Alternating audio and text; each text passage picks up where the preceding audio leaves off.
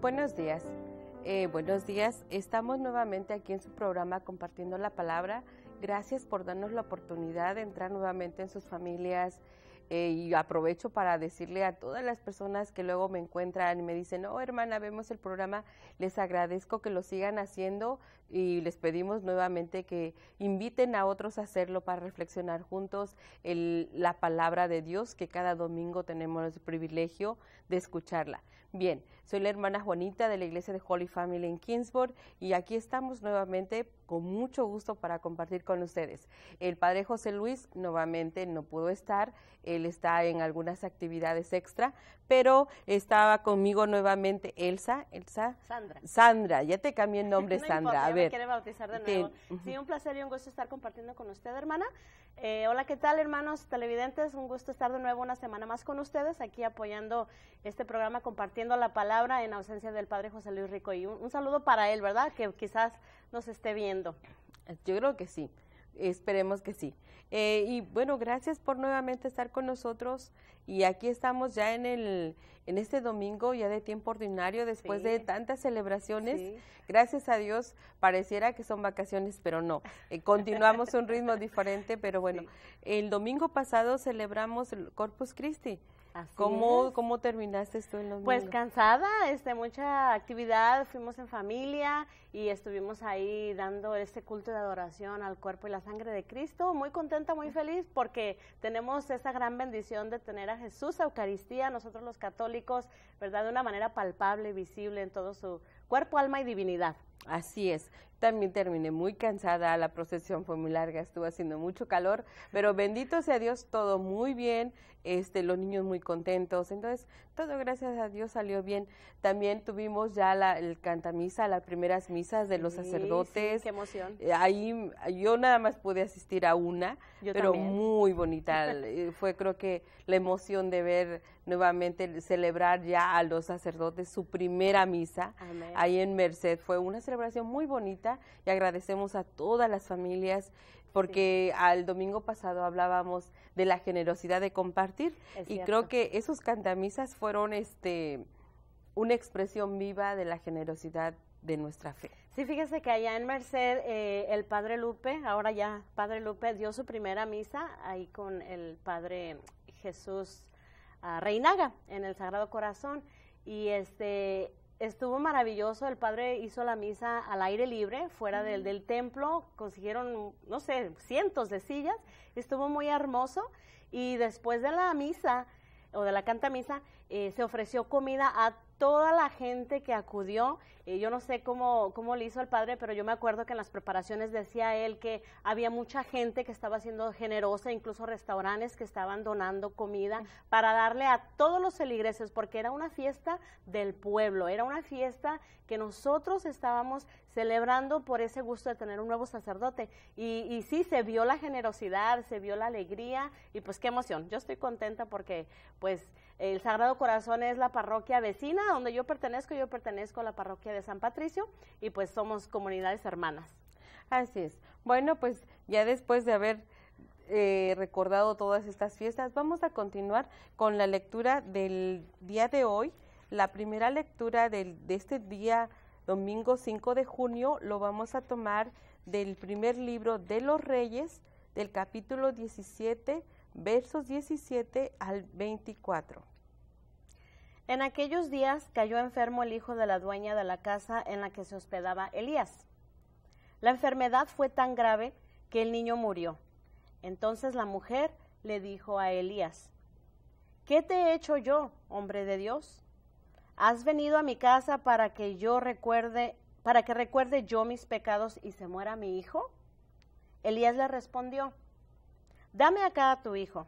Lo tomó del regazo de la madre, lo subió a la habitación donde él dormía y lo acostó sobre el lecho.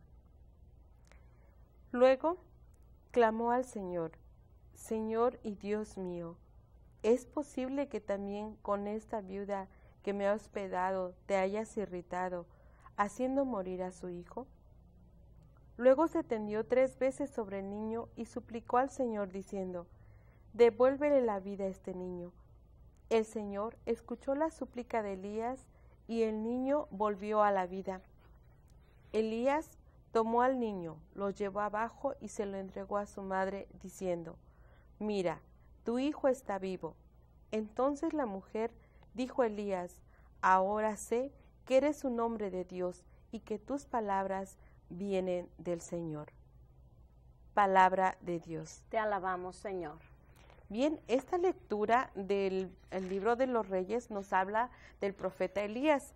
Recordemos que el profeta Elías es uno de los grandes profetas que tiene el Antiguo Testamento, pero también es uno de los profetas, le digo que se rebeló con Dios porque dice, ya no quiero seguir tus voces, ¿no? Y se esconde y se va y huye. Incluso quiere morir, ¿no? Y se quiere morir y porque no, eh, dice, ¿cómo?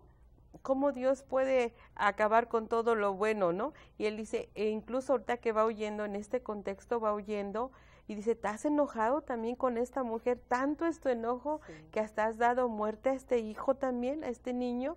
Yo digo, este profeta, ser profeta no es fácil. Y ser profeta con el papel desde la figura de Elías eh, es igual que todos nosotros, es una lucha constante entre seguir la palabra de Dios y seguir lo que humanamente a veces queremos, ¿no? ¿Cuántas veces hemos estado también yo luego digo, ay Dios, si hemos trabajado tanto por ese proyecto y ha salido muy bien y ahora resulta que no sirvió de nada, es, es como toca nuestra humanidad y a veces nos revelamos un poco, ¿no? Yo creo que sí, nuestra parte humana se revela, pero sabe que en este momento me, me trae a la mente unas palabras que me dijo mi papá hace un tiempo, en, esos momentos de lucha que usted dice, que dice, bueno, bueno, ¿para qué hago tanto esfuerzo si no hay, no hay frutos, no veo que esté pasando nada? Y me recuerdo que me dijo mi papá, mira, mija, dice, no hay nada que se ha hecho en el nombre de Jesús y que no pase nada. Dice, a lo mejor tú no ves, a lo mejor tú no sabes por qué, tú no piensas como Dios, pero es imposible que tú hagas algo en el nombre de Jesús y que no pase nada tiene que pasar algo porque estás haciéndolo eh, en su nombre, aunque tú a veces no ves concretamente los frutos o las, lo, que esperas ver. Y yo creo que Dios permite que pase todo esto para que podamos ver eh, su poder, para que es como una oportunidad que Él se toma para decir, miren, eh, este es el lado negro, pero vengo yo y aquí está el lado blanco, ¿no? Entonces creo que es una oportunidad que, que el Señor se da y nos da para manifestarse. Y así es. Y luego me llama mucho la atención que es una mujer, ¿verdad? Una mujer no dice si es viuda, solo dice que estaba sola con un hijo y que muere cuando llega el profeta. Esta figura de la mujer sola en el Antiguo Testamento es una figura muy triste, ¿no? Porque recordemos que una mujer sola era alguien que no tuviera quien la protegiera, no había nada, ¿no? Y al mismo tiempo es la figura del pueblo de Dios, ¿no? En tiempos de soledad, de persecución, de, situaciones difíciles, es un pueblo solo, que su única esperanza es su hijo y muere. Así como que dices, eh, ya no hay nada, nada que, que tengamos que nos sostenga en esta vida. Y me hace pensar en muchos de nosotros que también a veces hemos perdido toda esperanza cuando hay situaciones de enfermedad, cuando hay situaciones de falta de trabajo, de falta de, dinero, con muchos biles que pagar, la desesperanza se hace grande. Pero, sin embargo, aparece, parece que en el punto más difícil de la desgracia, aparece la presencia de Dios. Sí, en el momento en que se ve que la tormenta no tiene fin, sale el sol. Eh, también me llama la atención aquí ver cómo la mujer pregunta, ¿verdad? ¿Qué he hecho yo? O sea, llega ese momento en que dices, bueno, ¿por qué me está pasando eso a mí? Yo creo que todos eh, somos renegones y siempre nos preguntamos, ¿por qué yo? ¿Por qué a mí? Y más sin embargo, es preciso preguntarse, bueno, ¿cuál es el propósito? En vez de quejarnos y decir, ¿por qué a mí me está pasando esto? Señor, ¿para qué permites esto? ¿Qué vas a sacar de aquí? Dice la palabra de Dios que todo obra para bien de los que aman al Señor. Entonces, cuando uno tiene un corazón recto, aunque las circunstancias se vean mal, eh, hay que siempre tener la esperanza que algo bueno va a tener que salir de eso. Es como se me viene a la mente el momento del parto de una mujer, ¿no? Está teniendo dolores tremendos, un sufrimiento corporal y carnal muy, muy fuerte, mas sin embargo sabe que después de que pase ese dolor viene una maravilla que es una vida humana. Sí, y esto, la pregunta es siempre, ah, estamos en el Antiguo Testamento y no se piensa todavía, algunos todavía pensamos que cuando tenemos sufrimiento es por castigo de Dios. Lo que decías, o es que Dios te está castigando, es que Dios me ha castigado. Y cuando pensamos eso, creemos que el castigo no los merecemos y en lugar de acercarnos a Dios, nos alejamos porque a veces tenemos la imagen de una mamá que castigaba mucho y dices, no, mamá está enojada, mejor hay que huir, ¿no? Ya cuando se contente regresamos, ¿no? Este, sin embargo, Dios no es así. Dios al contrario, eh, cuando esta mujer ve entrar al profeta y muere a su hijo, ve como mayor desgracia. Sin embargo, después es una bendición, porque no solo su hijo tiene vida, sino ella también se da cuenta que Dios no la ha abandonado, que Dios está ahí y a veces nuestro sufrimiento tiene esa misión de decir, no es que Dios te ha abandonado. Ah, aquí una, me acuerdo ahorita una pequeña historia que me pasó hace unos años. Yo estaba trabajando en pastoral vocacional y cómo a veces Dios nos libera de muchas cosas recuerdo que iba a tomar el autobús y yo dije, llegué tarde como tres minutos y me molesté mucho con Dios, Señor, me levanté muy temprano, quise alcanzar este autobús, ya me dejó, voy a tener que esperar otro, en fin, estaba ahí toda. Renegando. Exactamente. Después pasó, oh, me fui en el siguiente, llegué casi la misma hora. Pero, ¿qué es lo que sucedió? Cuando yo me di cuenta, eh, por mí, porque también fue triste, el autobús que salió unos minutos antes que el mío había tenido un accidente oh, y casi la mayoría de las personas habían sufrido varias cosas, unas habían muerto. Y yo dije, Señor, sí, cuando uno dice, ¿cómo a veces uno no entiende lo que Dios nos cuida, nos protege? Y uno se pone enojado. Desde ese día dije, Señor, si pasa esto es por algo. Tú sabes por qué, tú tienes un plan que yo no entiendo, pero esto tiene una misión, ayúdame a verlo, ¿no? He ahí este, la importancia de las mañanas, em, hacer nuestra oración de, de, abandono, ¿verdad? De decir, Señor, yo confío que pase lo que pase, aunque para mí sea quizás lo peor del mundo, sé que hay un propósito detrás de todo esto, ¿no? Así es. Y bueno, pues les pedimos que nos sigan acompañando. Vamos a tener una breve pausa, pero regresamos con ustedes. KNXT thanks all its loyal viewers and respected businesses who have supported your Catholic television station. Now you can support KNXT with program underwriting by having your name, your company's name, or organization associated with your favorite program. Detailed information about you or your company will appear before and after each program or day part you select. Keep the quality and spiritual message alive and make a difference. Call 559 488 7440 today or go online at knxt.tv to find out more about program underwriting on KNXT. Gracias por seguirnos acompañando. Continuamos nuevamente aquí en su programa compartiendo la palabra en este décimo domingo del tiempo ordinario, este 5 de junio, que ya estamos a mitad del año, ¿verdad? Sí, vuela el tiempo. Eh, sí, así es. Y bueno, para continuar vamos a dar lectura al Evangelio del día de hoy. El Evangelio es del Evangelio de San Lucas, capítulo 7, versos del 11 al 17. En aquel tiempo se dirigía Jesús a una población llamada Naim, acompañado de sus discípulos y de mucha gente. Al llegar a la entrada de la población, se encontró con que sacaban a enterrar a un muerto, hijo único de una viuda, a la que acompañaba una gran muchedumbre. Cuando el Señor la vio, se compadeció de ella y le dijo, No llores. Acercándose al ataúd lo tocó, y los que lo llevaban se detuvieron. Entonces dijo Jesús, Joven, yo te lo mando, levántate. Inmediatamente el que había muerto se levantó y comenzó a hablar. Jesús se lo entregó a su madre. Al ver esto, todos se llenaron de temor y comenzaron a glorificar a Dios, diciendo, Un gran profeta ha surgido entre nosotros. Dios ha visitado a su pueblo. La noticia de este hecho se divulgó por toda Judea y por las regiones circunvencinas. Palabra del Señor. Gloria a ti, Señor Jesús. Bien, nuevamente este Evangelio nos vuelve a tocar la figura de otra mujer, una mujer viuda con un hijo que ya están llevando a enterrar. En este caso es alguien que ya está muerto, que no está vivo y va a morir, sino que ya murió con toda una tristeza, de alguien que ha perdido todo, ¿no? no hay esperanzas. Esa es la primera escena, ¿verdad? Sí, pues de hecho ya eh, eh, eh, el Evangelio nos relata que lo llevan a enterrar. Ya cuando una persona lleva a un ser querido en el ataúd a enterrar es porque ya le hizo la lucha de mil maneras, ya gastaron sus recursos, ya llegó el final.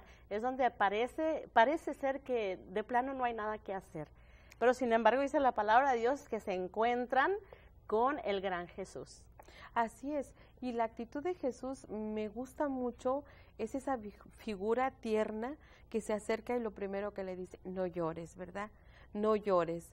Y dice, tocándolo, los detiene y le, le dice, levántate, ¿verdad? Levántate y se levanta y empieza a caminar, volver a la vida. Yo digo, este Evangelio es una invitación muy fuerte para nosotros. En el contexto que estamos, somos un pueblo de Dios bendecido, pero también a veces un pueblo de Dios ah, muerto.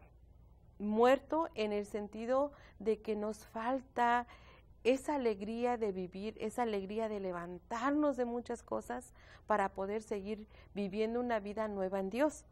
Y recuerdo, por ejemplo, a algunos papás, como ellos dicen, estoy cansado de la vida, estoy cansado de esto, muchos años he cargado eh, sentimientos de enojo, de rencor, no quiero, creo que Dios no está conmigo, porque no lo he sentido, porque me ha abandonado. Digo, eh, estamos viviendo porque nuestro corazón todos los días está latiendo, pero ¿estamos realmente viviendo una vida o solo estamos sobreviviendo? Sí, podría ser que es, es más común que la gente en estos días estén sobreviviendo.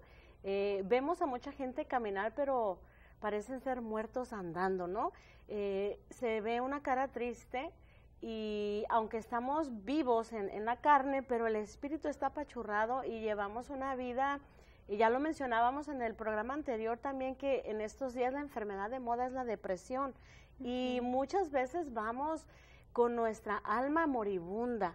Quizás hay jóvenes que tienen 13, 14, 15 años, en plena juventud, apenas están despegando a la vida y ya se les ve aquella tristeza, aquella pesadez, tienen flojera, no les anima nada, no les emociona nada.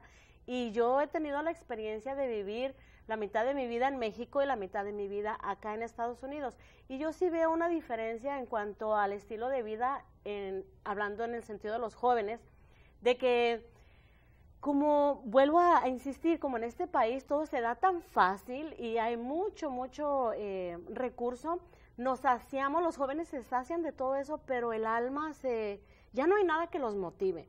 Vas a una fiesta de cumpleaños, no sabes, para mí es un, una pesadilla saber qué regalo comprarle a un niño porque nada les gusta. Entonces, ya los niños no se emocionan con nada. Y en este caso, podríamos decir que la juventud y también nosotros los mayores a veces ya estamos en un ataúd espiritual, por decir así. Así es. Y también la, lo que dices junto con la figura de la mujer, la viuda, la madre que ha perdido a sus hijos, yo digo, siempre hemos dicho que la iglesia es nuestra madre. Yo digo, si es nuestra madre, cuánto dolor ha de tener ella, ¿no? Porque la usamos, literalmente la usamos. Eh, veo muchos, por ejemplo, eh, se van a casar, ¿no? Se casan, preparan todo para la fiesta, pero si acaso se confiesan, y si no, ni siquiera se confiesan, van, la usan para las fotos, para la misa rápido, que se apure el padre, pero para las fotos una hora, dos horas, y luego les digo, tengo que cambiar porque va a seguir otra cosa, ¿no? Dicen, ojo, es que todavía nos quedan diez minutos, se molestan, yo digo, Dios, si yo pienso, yo como hermana, Ahora, si la iglesia es nuestra madre, ¿cuánto dolor le estamos haciendo? Los bautizos que llevamos los niños a bautizar sin creer en Dios. Qué tristeza es que presentan el niño y ellos, alguien va a comulgar, les preguntan, oh, nadie. Oh, la quinceañera, queremos misa y queremos misa y cuántas personas se molestan si no tiene misa. Pregunto, ¿alguien va a comulgar? Oh, no. Así como que digo, Señor, ¿Por qué usas a tu mamá nada más? ¿Por qué la usas como un lugar nada más de pretexto? Ah, pero la criticamos mucho. Yo digo, la figura del Evangelio de este día, de esta mujer que ha perdido a su hijo, también puede ser la figura de nuestra iglesia. Y sus hijos somos responsables del dolor, que, ella que estamos causando. Y fíjese que usted estaba mencionando que muchas veces pedimos la misa para hacer nuestras celebraciones.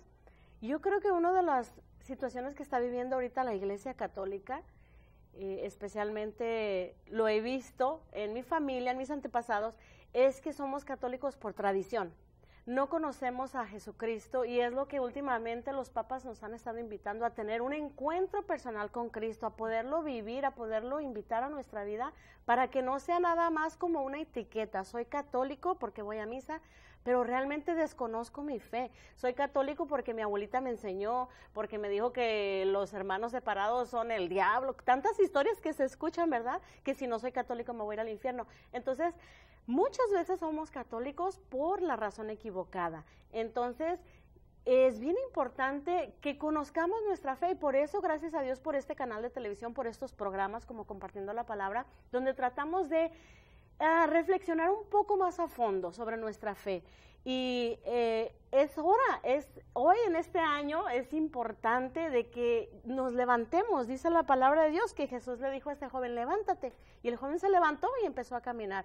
Nosotros tenemos que levantarnos, escuchar la voz de Dios que día a día nos está diciendo, levántate. No solo de la cama, ¿verdad? Que también es muy importante, pero levántate de la situación en la que te encuentras, de amargura, en la situación en la que te encuentras de frialdad, es más de tibieza, Sabemos que la palabra de Dios dice que a los tibios el Señor nos vomitará de la boca. Entonces, es hora de levantarnos, hermana.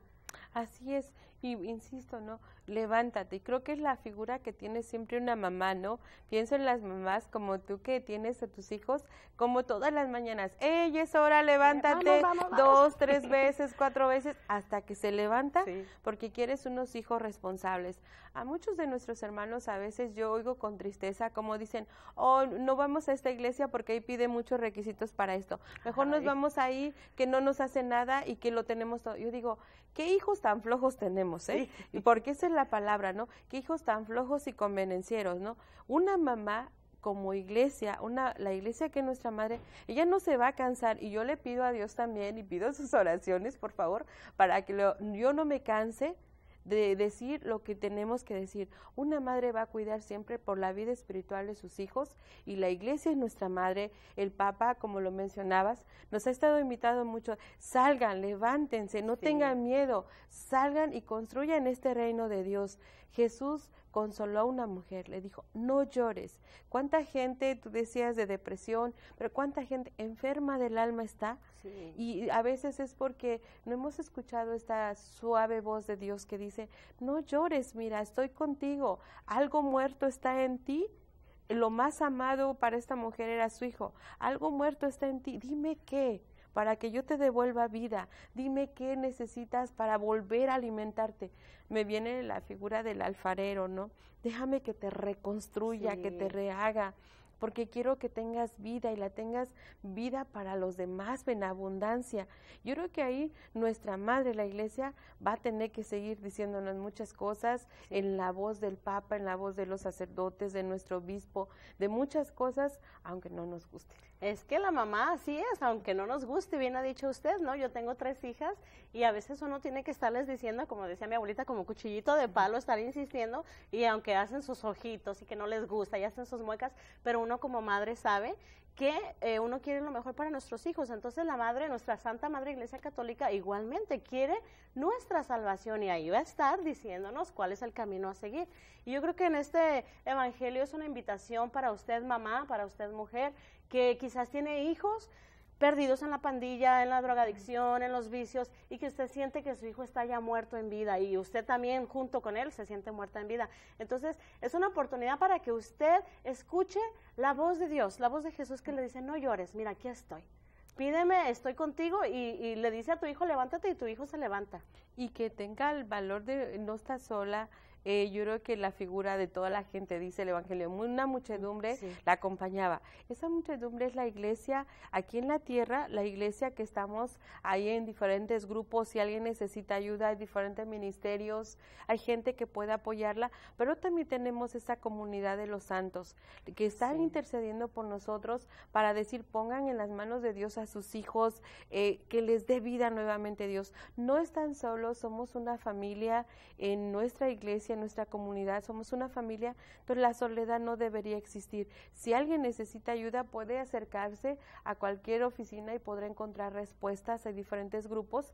La idea es que ninguno de nuestros jóvenes siga muriendo, ni nosotros, y podamos levantarnos para seguir caminando con Dios. ¿eh? Sí, y mire, decía usted, mencionaba la soledad, y hoy en estos tiempos en donde tantos aparatos que tenemos y la tecnología, estábamos hablando de eso hace un momento, antes de entrar aquí al programa, que la tecnología ha avanzado tanto para podernos comunicar más fácilmente, pero a la vez está aislando a las personas. Y los jóvenes, entre más se comunican, según entre más amigos tienen en las redes sociales, se sienten más solos. Bueno, siempre hablamos de los jóvenes, ¿verdad? Pero yo creo que todos, todos en general. Eh, entonces, en este Evangelio se nos recuerda, queridos hermanos, hermana, el poder de Jesús, que Dios Jesús resucitó, Jesús está vivo, es una persona real y tiene el poder para todo. Eh, dice la palabra de Dios que nada es imposible para Dios, incluso cuando tú ves que todo está perdido, que tu hijo está muerto, que el esposo se fue, cuando tú no tienes esperanza, Jesús está vivo y tiene poder y es lo que nos muestra el Evangelio del día de hoy. Jesús con una sola palabra, levántate. Levántate. Y yo creo que si lo juntamos las dos, Dios nos dice hoy, no llores. No llores de lo que ya pasó que no se puede arreglar. No llores del pasado y no llores en este momento porque las lágrimas te impiden ver lo que ahorita tienes. No llores, levántate, es tiempo de volver a caminar, de volver a hacer las cosas que, que Dios tiene planeado para ti. Yo digo a veces las lágrimas son muy bellas porque limpian el alma, pero llorar todo el tiempo nos hace perder eh, de, de, vista lo que en este momento tenemos. Límpiate esas lágrimas, como familia, si han sufrido infidelidades, si han sufrido muchas cosas. Límpiense las lágrimas con Cristo, límpiensela y en el nombre de Él levántense y empiecen a caminar, que para eso tenemos una iglesia que nos recibe con los brazos abiertos, que nos recibe nuevamente para decir, no estás solo, Dios te dice, límpiese las lágrimas y a caminar en nombre de Cristo nuevamente, ¿verdad? Amén, amén. Bien, pues estamos, hemos celebrado junto con ustedes estas reflexiones de este domingo. Muchas gracias por acompañarnos y bueno, pues nos quedamos en esta semana nuevamente para poder agradecerle a Dios. Que Dios se quede con nosotros en nombre del Padre, del Hijo, del Espíritu Santo. Amén. Amén.